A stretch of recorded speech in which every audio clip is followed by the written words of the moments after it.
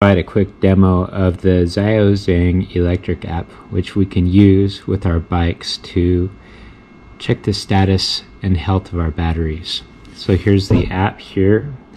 It's got a white elephant on a blue background. The name is spelled X-I-A-O-X-I-A-N-G, electric.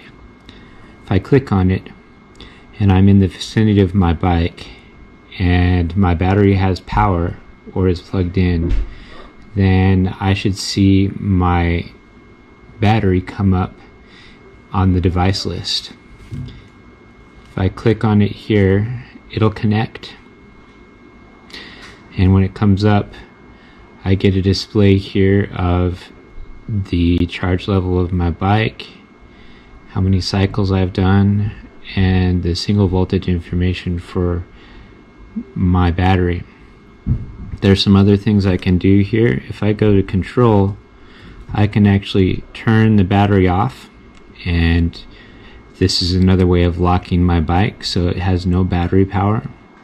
If I was next to my bike and I switch the discharge switch, you would quickly see the display go off and the bike would be off very soon because the battery is not providing power. I was charging and I clicked the charge switch, you would see the charger turn off right away. Also, in basic information, here, one thing that I can do if I've got multiple devices and I want to make sure that I'm able to identify my bike, I could enter my frame number here, for example, and that would let me choose between a number of different frame numbers, for example, which bike I was looking at when I look at the device list.